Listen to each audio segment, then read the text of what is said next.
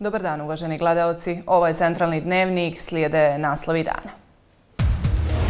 Vijeće za nacionalnu bezbjednost zasjedalo o slučaju Dokvon. Premijer i ministar unutrašnjih poslova tvrde da se južnokoreanac sastajao sa Milojkom Spajićem još dok je bio na potjernici, te da su u njegovim oduzetim uređajima dokazi. Niko ništa ne, ne, ne aludira, ali se navodi da je e, kriptozajednica plaćala, odnosno pomagala, pomagala određene političke subjekte.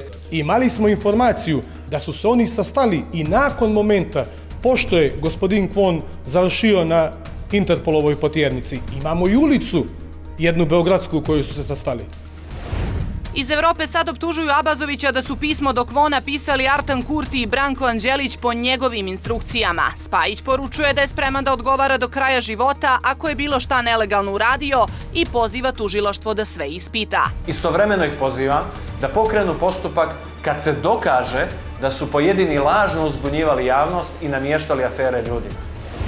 Bivši ministri Budimir Šegr, Damir Šehović i Osman Urković negirali krivicu na saslušanju u SDT-u u aferi Stanovi. Da je pozadina ove krivične prijeve u stvari pomoć političkoj kampanji za postojeće izbore koju kreira odlazića premijer Itana Basović.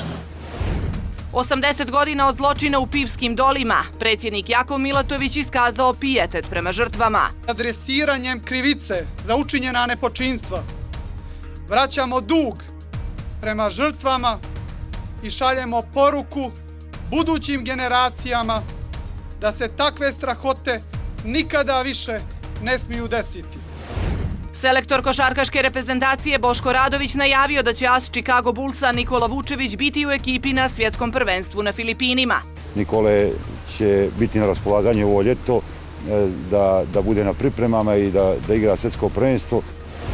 Sjutra slično vrijeme, prije podne više sunca, popodne moguća kiša.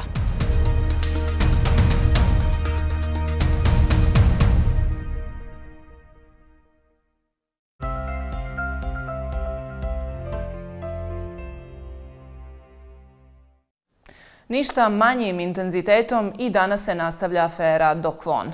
O njegovim navodnim vezama sa liderom pokreta Evropa Sad Milojkom Spajićem danas se razgovaralo i na sjednici Vijeća za nacionalnu bezbjednost koju je sazvao premijer Drita Nabazović.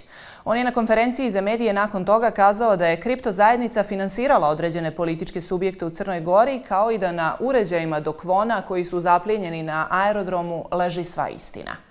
Ministar unutrašnjih poslova Filip Adžić dodao je i da se južnokoreanac sreo sa Spajićem i dok je bio na potjernici i da znaju tačno gdje u Beogradu. Dok premijer ne misli da je ugrožena nacionalna bezbjednost u zemlji, poslanik Demokratskog fronta i član vijeća Milan Knežević smatra da je prilično ugrožena. Više u prilogu Nemanja Živaljevića. Crna Gora je na udaru pojedinaca iz kripto svijeta, moglo se čuti nakon sjednice Vijeća za nacionalnu bezbjednost. Osim što su trčali za kriptovalutama, sumnja se da su pomagali nekim strankama da učestvuju u izbornoj trci. To proističe iz pisma koje je premijeru poslao odbjegli Korejac Dok Kwon. Ako imamo informaciju da se neko iz kripto svijeta koji raspolaže milijardama eura miješa u izborni proces Crne Gore, mi moramo reagovati. Ako smo reagovali kada je u pitanju Demokratska partija socijalista, ako smo reagovali kada je u pitanju Demokratski front, ako smo reagovali kada je u pitanju bilo koja druga partija, zašto bi drugačije reagovali prema onima iz pokreta Evropa sad?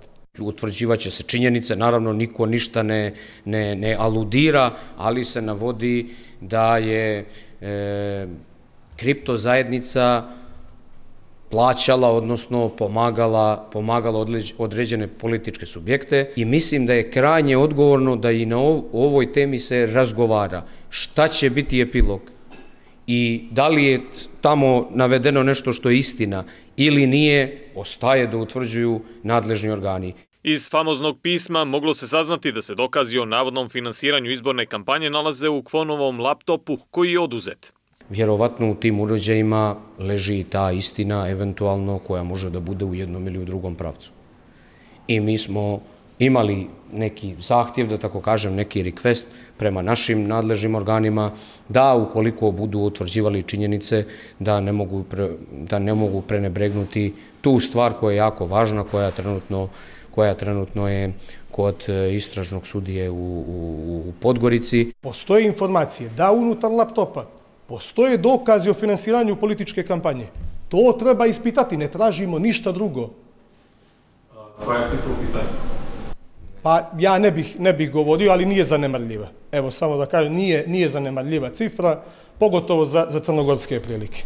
Uz to, ministar Adžić tvrdi da su Kvon i lider pokreta Evropa sad blisko sarađivali. Imali smo informaciju da su se oni stajali čak i u porodičnoj atmosferi.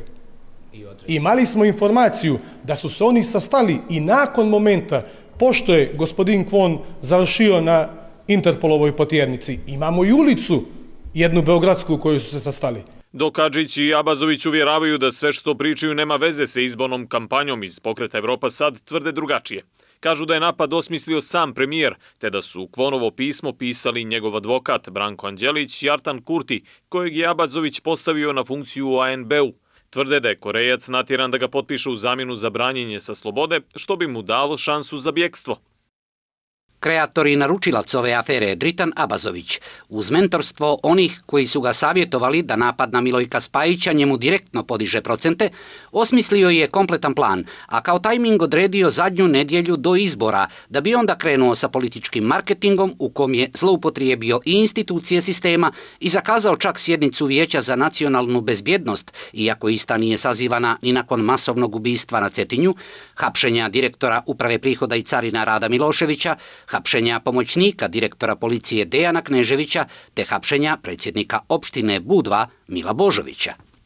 Da za ovu aferu nisu zaslužni u koaliciji za budućnost Crne Gore, ponovio je nakon sjednice vijeća predsjednik Skupštinskog odbora za bezbjednost i odbranu Milan Knežević. Ocijenio je pak da je državna bezbjednost ugrožena.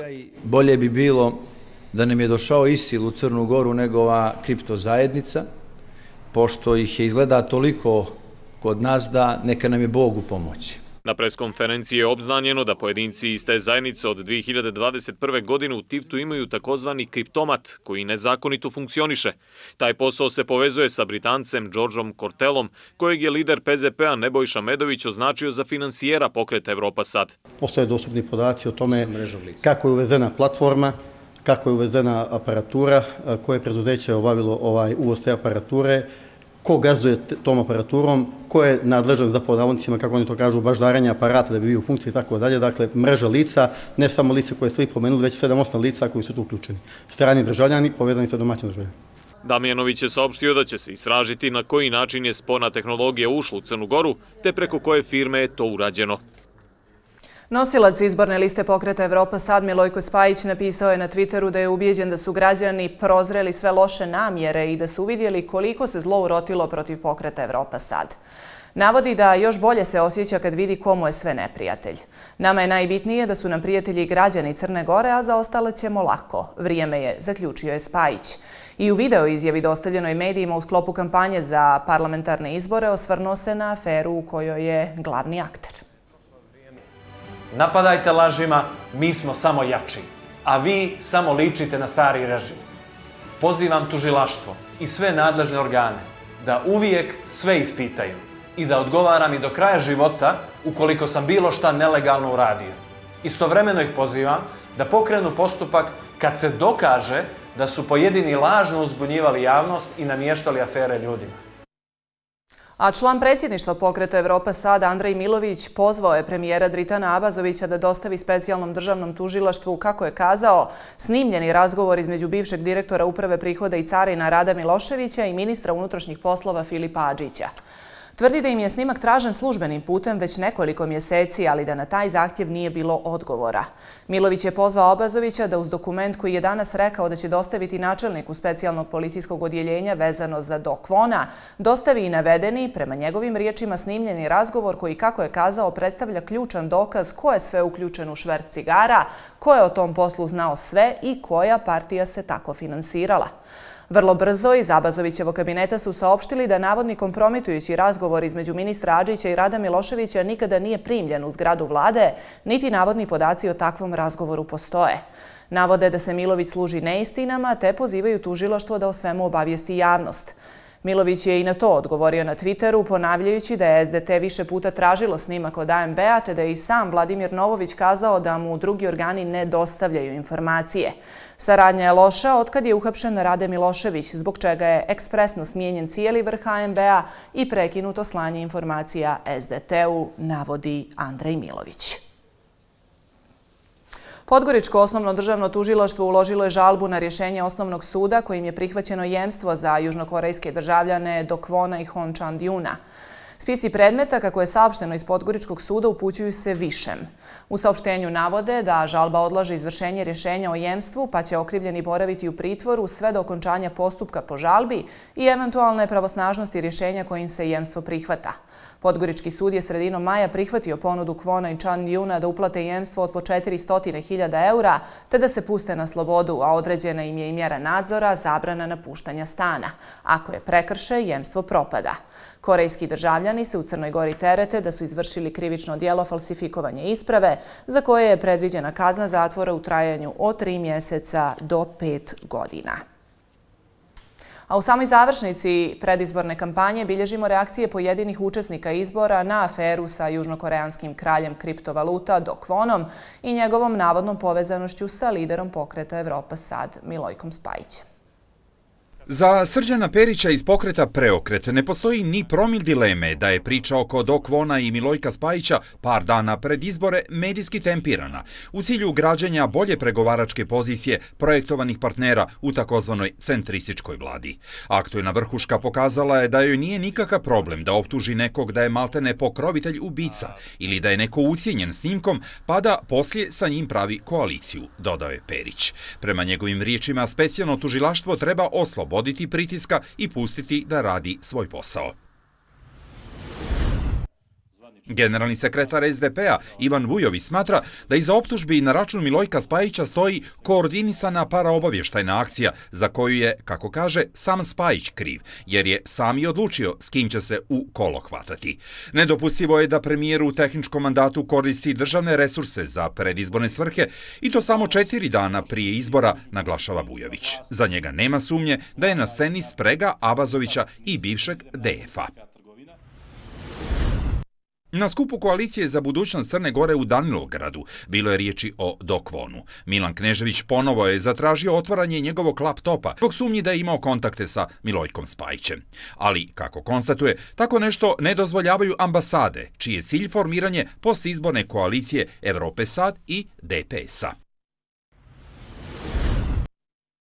Povodom navoda Dokvona da je bio u kontaktu sa Spajićem, nosilac liste SMP Demos Vladimir Joković istakao je da je pobjeda od 30. avgusta trebalo da označi početak uspostavljanja novog sistema vrijednosti u kome bi se korupcija i politički skandali sveli na minimum. Joković poručuje da specijalno tužilaštvo treba da reaguje na, kako kaže, jasne optužbe i sumnje u koruptivne radnje i štetu koju je mogao nanijeti bilo koji ministar svake dosadašnje vlade.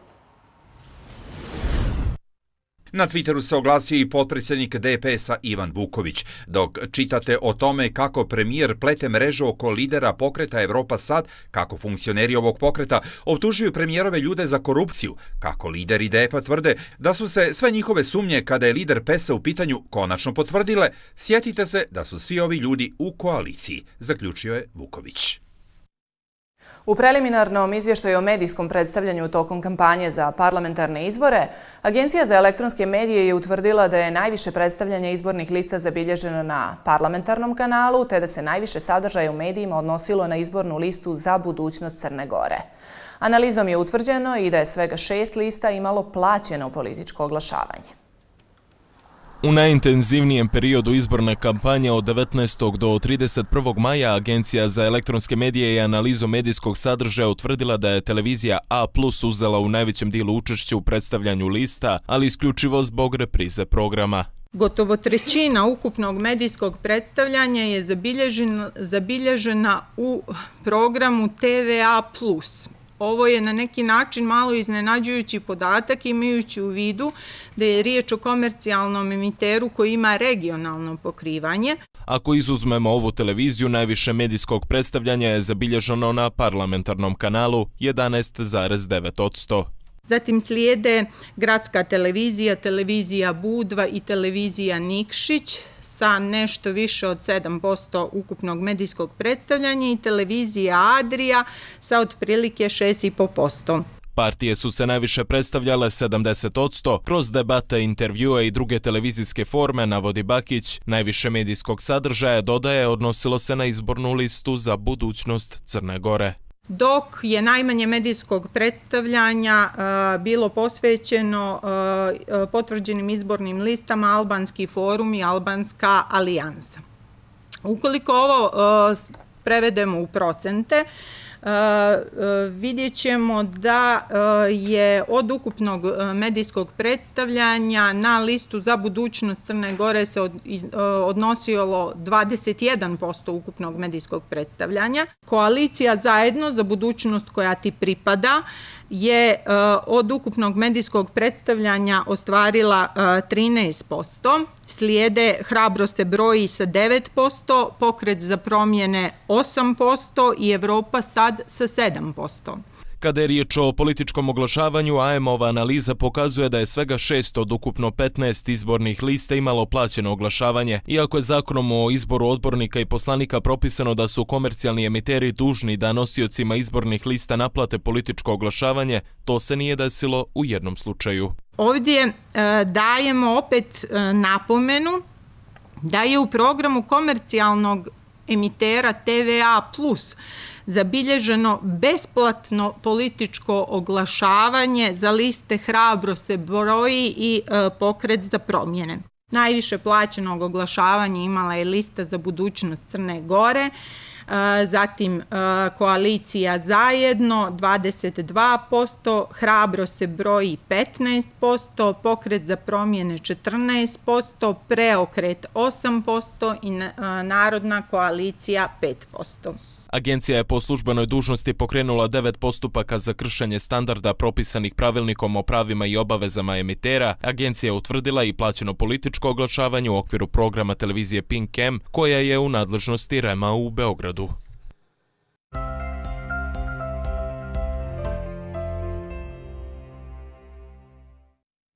80 godine od zločina u Pivskim dolima, mjestu gdje je stradala 521 osoba, među kojima 109 djece.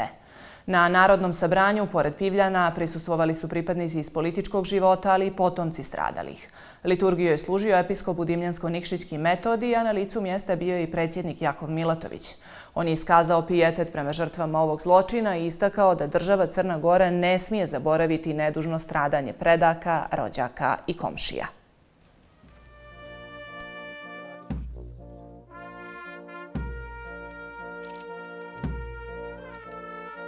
Kao predsjednik Crne Gore želim da istaknem važnost ovakvih skupova, jer se njima afirmiše kultura sjećanja i promoviše antifašizam i sloboda kao temeljni oslonci sveukupnog razvoja našeg društva. Govoreći o tragičnim događajima iz prošlosti i adresiranjem krivice za, učićen, za učinjena nepočinstva. Vraćamo dug prema žrtvama i šaljemo poruku budućim generacijama da se takve strahote nikada više ne smiju desiti. Dragi pivljani, vi čijom nedužnom krvlju su pisane sramne stranice fašističkog zločina, vi koji ste 45 slobodu dočekali bez svojih najbližih, u spaljenim i uništenim domovima, u kojima je svaki trag života bio rijetkost. Svijetli ste primjer uzdizanja i ponosa u Crnoj gori i šire. I bivši ministri Budimir Šegrt, Damir Šehović i Osman Nurković negirali su krivicu na saslušanju u specijalnom državnom tužilaštvu u predmetu o dodijeli stambenih kredita funkcionerima po povlašćenim uslovima. Šehović je kazao da je riječ o marketinškom triku premijera Dritana Abazovića koji pokušava da podigne rejting pred izbore i apelovao je na tužioca da što prije donese odluku kako bi se skinuo teret s njegovog imena.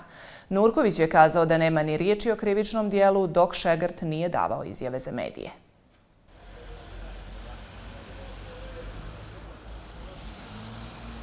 Šehovićev advokat Nikola Martinović kazao je novinarima ispred SDT-a da je njegov branjenik rekao da je ova krivična prijava dio političkog folklora i jedan jeftin marketinški trik premijera Dritana Abazovića kojim pokušava da digne rejting pred predstojeće izbore.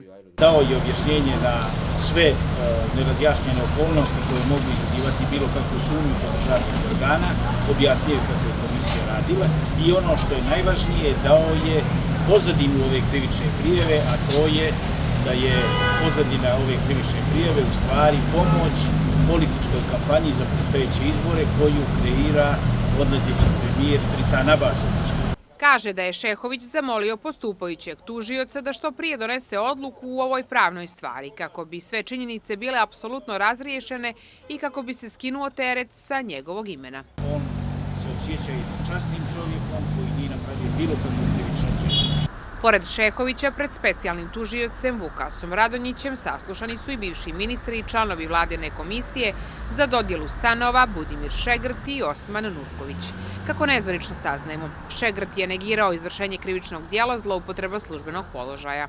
On i njegovi advokati nijesu davali izjevu za medije nakon saslušanja. Osman Nurković je nakon saslušanja kazao da nema ni jednog argumenta kojim će se dokazati krivična prijeva, te da javnost sama ocijeni zbog čega je istraga opet pokrenuta pred izbore. Da li je slučajno što je prva krivična prijava podnijeta pred lokalne izbore, je li slučajno da je imunitet e, poslanicima ukinut pred predsjedničke izbore i da li se ovo slučajno dešava pred parlamentarne izbore. Samo neka javnost ocijeni to.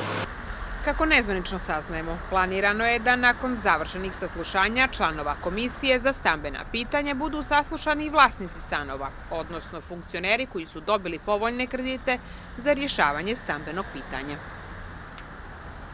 U nekoliko crnogorskih gradova policija je jutro spretresala stanove pripadnika organizovanih kriminalnih grupa kako bi eventualno pronašli psihoaktivne substance, oružje i druge predmete, potvrđeno je novoj iz uprave policije. Kako saznajemo, na meti su bezbjednostno interesantna lica. Ministar unutrašnjih poslova Filip Adžić saopštio je da su današnji pretresi pokazatelj da je država spremna da se obračuna sa svima i da su najava aktivnosti koje će uslijediti. Istakao je da se ovim aktivnostima povećava nivo bezbjednosti u Crnoj Gori i smanjuje broj kriminalaca na ulicama. Kao što smo i najavili beskompromisnu boru protiv organizovanog kriminala i korupcije, nastavljamo i ovom aktivnošću. Ona je negdje najava nekih aktivnosti koje će tek uslijediti.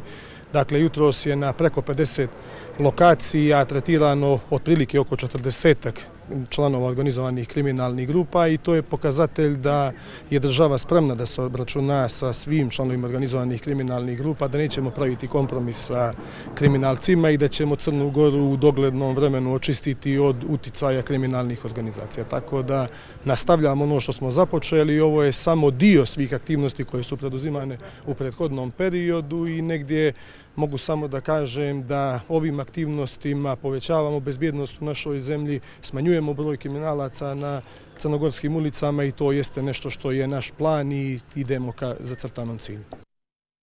Skoro 800 komada oružja uništeno je u Nikšiću u zajedničkoj akciji Ministarstva unutrašnjih poslova i Centra za kontrolu malog i lakog naoružanja. U kontekstu dešavanja u našoj, ali i u susjednim zemljama, zvaničnici poručuju da su ovakve kampanje izuzetno važne, pa makar potencijalno spasile i jedan život. Najavljuju i nastavak akcije. Irena Radulović.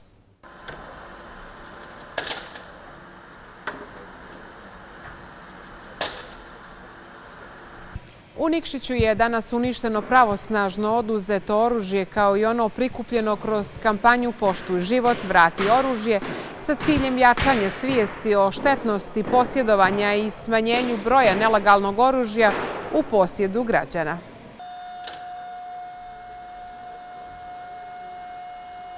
Negdje smatram da je uklanjanje svakog komada oružja sa ulice potencijalno spašen jedan E, ili više ljudskih života, tako kada imamo ovoliku količinu uništenog oružja, samo mogu reći da sam zadovoljan što negdje su i građani prepoznali odgovornost i u kontekstu nekih nemilih događaja koji su se dešavali u našoj državi, ali i u susjednoj državi E, negdje pokazali dozu odgovornosti i pristupili akciji dobrovoljnog vraćanja oružja gdje imamo rezultate fenomenalne. Za mjesec koliko traje akcija, pošto u život vrati oružje, prikupljeno je oko 500 komada oružja preko stotinjak eksplozivnih naprava i nekoliko hiljada komada municije. Također Adžić ističe i da ništa manje dobri rezultati nijesu kada je u pitanju oduzimanje oružja od kriminalnih struktura. Dakle, imali smo akcije širom Crne Gore koji su i na današnjem danu nastavljeni i bit će intenzivni u narednom periodu, što opet govori o našoj postevećenosti da uklonimo oružje s ulica, da Crnu Goru učinimo bezbjednijom destinacijom, negdje da zaštitimo svakog našeg građanina. Aktivnost uništavanja oružja organizovan u sklopu sprovođenja odluke Savjeta Evropske unije koja podržava jačanje kapaciteta za kontrolu malog i lakog naoružanja u regionu. Od 2017. do ovamo MUP je zaista pokazao snažnu posvećenost kontrole nelegalnog naoružanja. Oko 4071 komada malog i lakog naoružanja je do sada uništeno i ukupno 96.000 komada municije.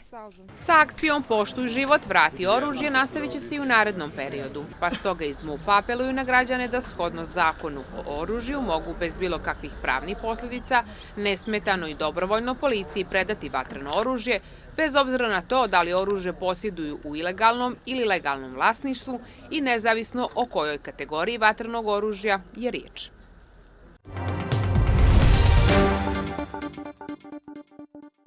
Brojne spasilačke ekipe i vojnici već drugi dan evakuišu stanovništvo u priobalnim mjestima poslije probijanja brane na Dnjepru. Bivši američki potpredsjednik Mike Pence formalno je objavio kandidaturu za predsjedničku nominaciju Republikanske stranke. New York u gustom dimu uslijed požara u Kanadi. Više iz svijeta u nastavku. Sedam osoba je nestalo u okolini Nove Kahovke u Ukrajini poslije uništenja istoimene hidroelektrane na Dnjepru, poručuju tamošnje vlasti, te ističu da je nivo vode tokom noći opao za oko 35 cm. Velika količina vode poslije rušenja brane srušila i oštetila više mostova u Hersonskoj oblasti. No kako možno bilo to Kako to mogu da urade? Dobro rat je, vojnici se bore jedni protiv drugih, ali da dignu vazduh branu, hidroelektranu, nemam riječi, to je varvarstvo. Normalni ljudi. Normalni ljudi ovako nešto ne čine. Oni su teroristi.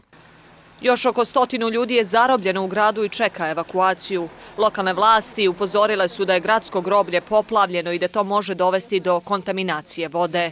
Rusija i Ukrajina optužuju jedna drugu za uništavanje brane.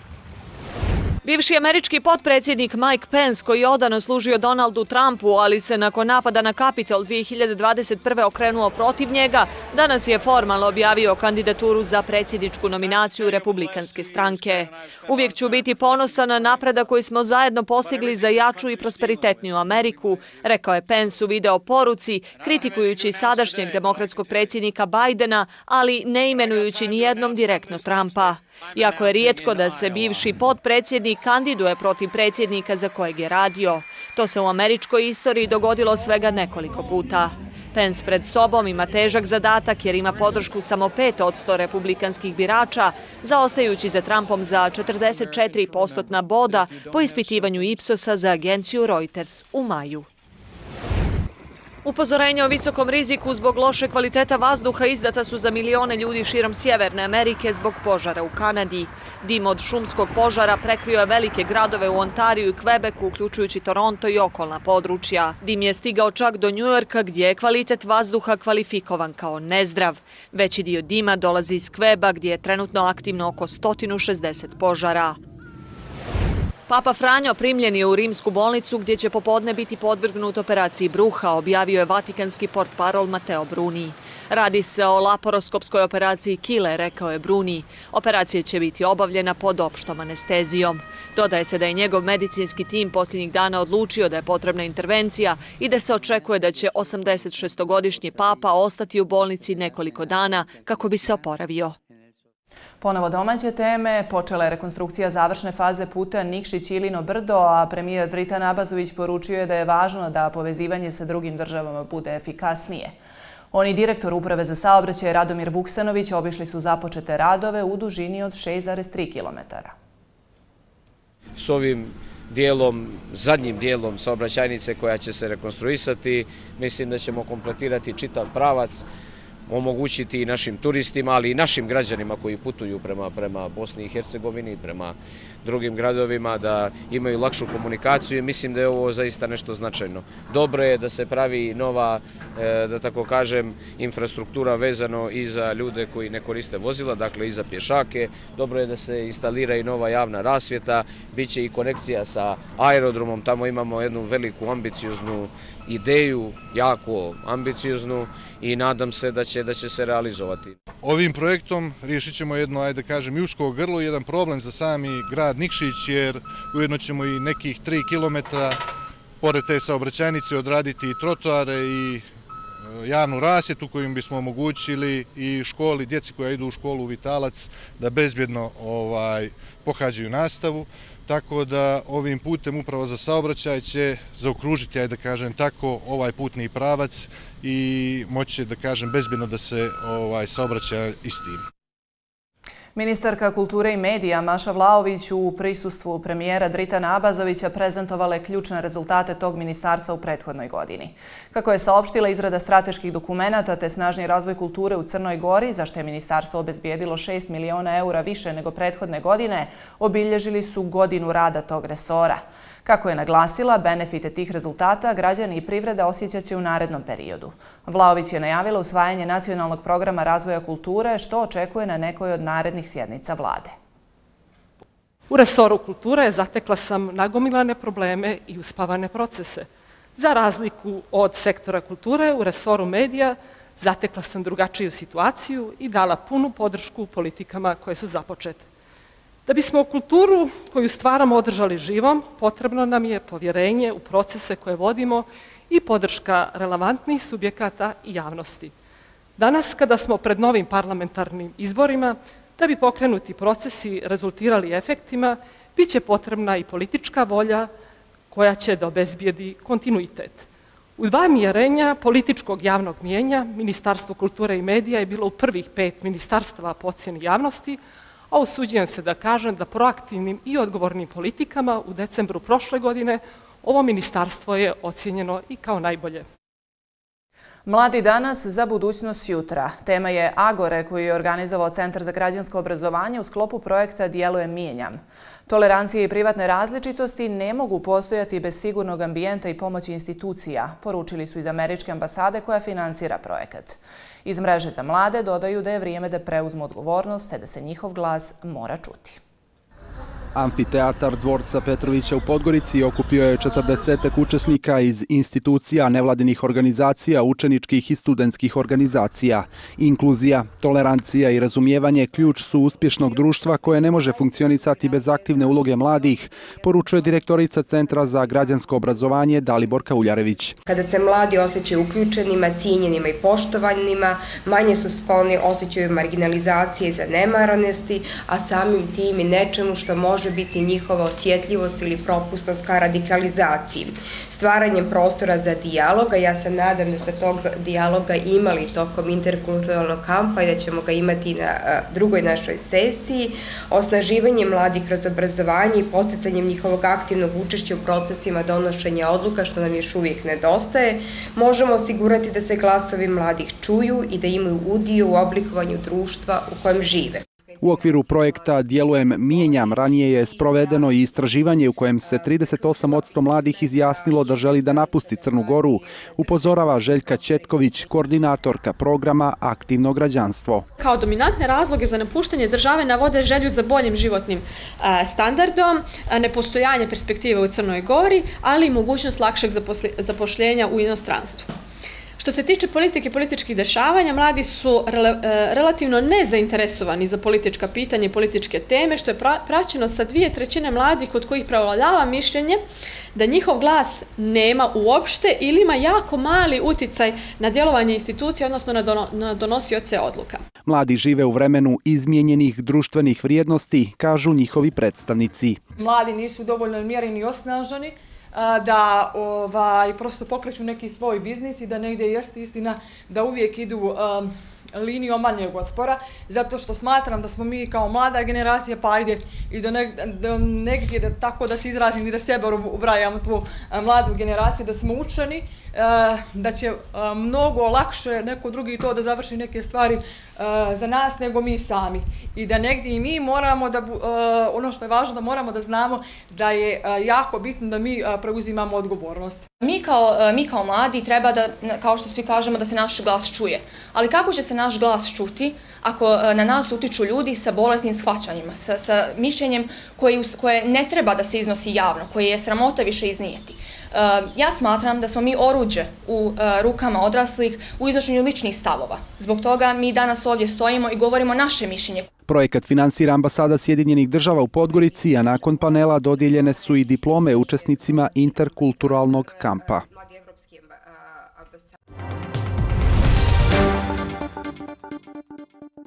O sportu će Milutin Grgur, Miki, danas košarka u prvom planu. Da, Jelena, baš tako. Do svjetskog prvenstva košarkaša ostalo je nešto više od dva mjeseca. Trofej namijenjen šampionu u Crnoj Gori je danas u okviru planetarne turneje.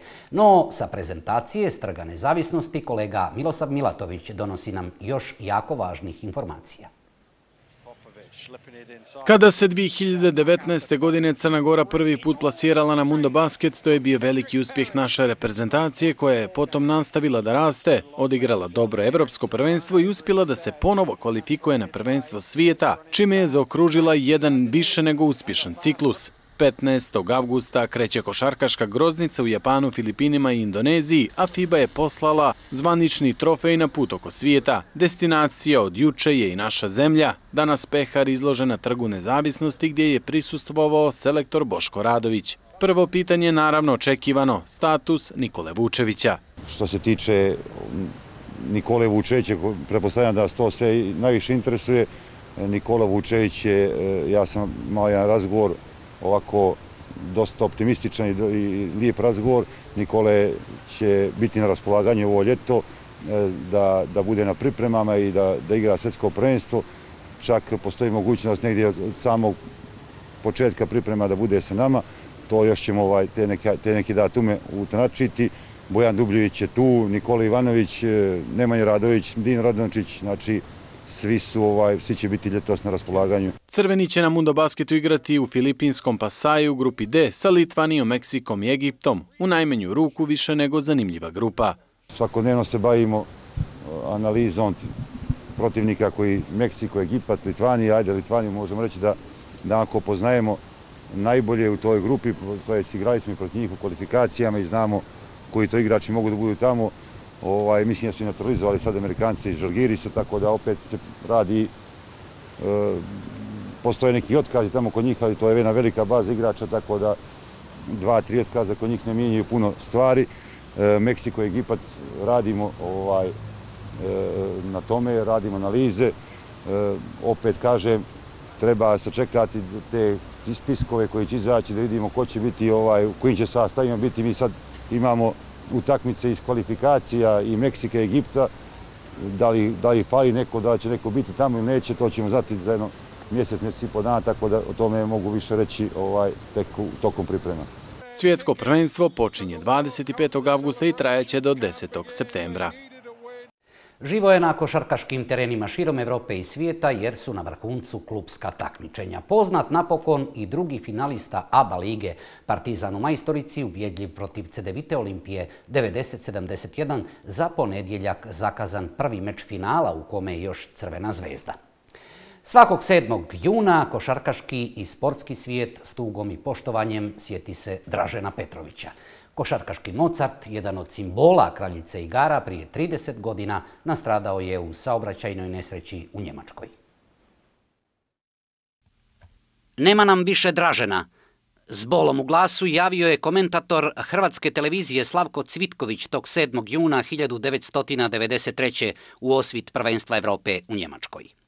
Tek 30-godišnjak, velemajstor igre pod obručima, poginuo je u sudaru automobila u kome je bio saputnik i kamiona koji se obreo u suprotnoj traci autobana. Dražen, dijete Šibenika, ponos hrvatske i jugoslovenske košarke, as Cibone, Reala, Portlanda i New Jerseya, osvajač svih mogućih klubskih trofeja i medalja sa dvije reprezentacije, obilježio je epohu i nikad neće otići u zaborav. Danas u njegovu čast i slavu u rodnom gradu počeo je međunarodni turnir na kome nastupa i mlada crnogorska reprezentacija. Biće ovo jako intenzivan e, i sigurno buran futbalski period. Večeras u Pragu finale UEFA lige konferencija Fiorentina-West Ham od 21 sat. U subotu finale Lige šampiona. Bliži se vrhunac drugog teniskog Grand Slema sezone. Prvi polufinalisti Đoković i Alcaraz u ženskoj konkurenciji za finale Muhova Češka, Zabalenka Bjelorusija i Maja Hadad Brazil, Švjontek Poljska. Pobjedom protiv Karena Hačanova Novak Đoković 45. put u karijeri plasirao se u Grand Slam polufinale. Prestigo je Martinu Navratilovu, ispred su još Roger Federer sa 46 i Chris Evert 52 puta je bila među četiri najbolje. Srpski teniser slomio je Rusa u četiri seta, 46-76-62-64. Istrpio je udarce bombardera iz Moskve u prvom setu, druga dionica duela potpuni egal sve do taj brejka koji je Novak odigrao maestralno 7-0. Iskoristio je Đoković moć sadašnjeg trenutka, razbio Hačanova u trećem setu 6-2. Izgledalo je da Rus više nema snage, niti arsenala u svom oružju, ali častio ga je Novak duplom servis greškom, brejk u osmom gemu. Ljut je na sebe bio 22 dvostruki osvajač Grand Slam titula, ali je kanalisao nervozu na pravi način, odmah vratio brejk i bez tenzija riješio duel u četiri seta. U polufinalu Roland Garrosa igraće protiv Carlosa Alcarasa. Španac je u tri seta smrvio finalistu Pariškog Grand Slema iz 2021. Stefanosa Cicipasa 6-2, 6-1, 7-6. Poslije samo sat i 7 minuta prvi teniser na ATP listi imao je 2-0 u setovima protiv Grka koji je na početku sezone stigao i do finala Australian Opena gdje ga je zaustavio Đoković. Izgledalo je da Cicipas klizi ka katastrofi, sjevali su udarci Alcarasa, maksimalno je opteretio backhand rivala, ali grčki predstavnik uspjeva nekako da umiri 20-godišnjaka iz Mursije do tiebreaka. Opet je Alcaraz pronašao pravi ritam, nije dozvolio neki epski povratak u meč Cicipasu, prvi put je Španac u polufinalu Roland Garrosa. Do kraja 11. dana Roland Garrosa, posljednja dva četvrtfinala, Zverev Ečeveri i Rune Rud o sportu u centralnom dnevniku. Večera stoje sve. Lelice, izvoli. Hvala ti, Miki. Za kraj još jednom naslovi dana. Vijeće za nacionalnu bezbjednost zasjedalo o slučaju Dokvon. Premijer i ministar unutrašnjih poslova tvrde da se južnokoreanac sastajao sa Milojkom Spajićem još dok je bio na potjernici, te da su u njegovim oduzetim uređajima dokazi. Iz Evrope sad optužuju Abazovića da su pismo do Kvona pisali Artan Kurti i Branko Anđelić po njegovim instrukcijama. Spajić poručuje da je spreman da odgovara do kraja života ako je bilo šta nelegalno uradio i poziva tužiloštvo da sve ispita. Bivši ministri Budimir Šegr, Damir Šehović i Osman Urković negirali krivicu na saslušanju u SDT-u u aferi Stanovi. 80 godina od zločina u Pivskim dolima. Predsjednik Jakov Milatović iskazao pijetet prema žrtvama. Selektor košarkaške reprezentacije Boško Radović najavio da će as Chicago Bullsa Nikola Vučević biti u ekipi na svjetskom prvenstvu na Filipinima.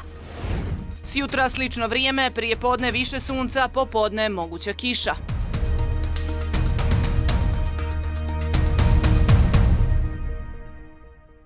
To je bilo sve u centralnom dnevniku. Ostanite uz novu. Prijatno večer.